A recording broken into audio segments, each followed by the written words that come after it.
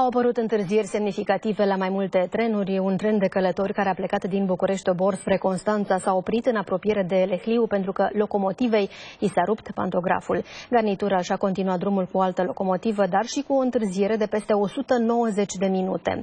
Alte trenuri au avut întârzieri din cauza fluctuațiilor de tensiune sau din cauza unor manevre suplimentare cu unele vagoane. CFR a transmis încă de dimineață că traficul feroviar este influențat de condițiile meteo nefavorabile. 比的。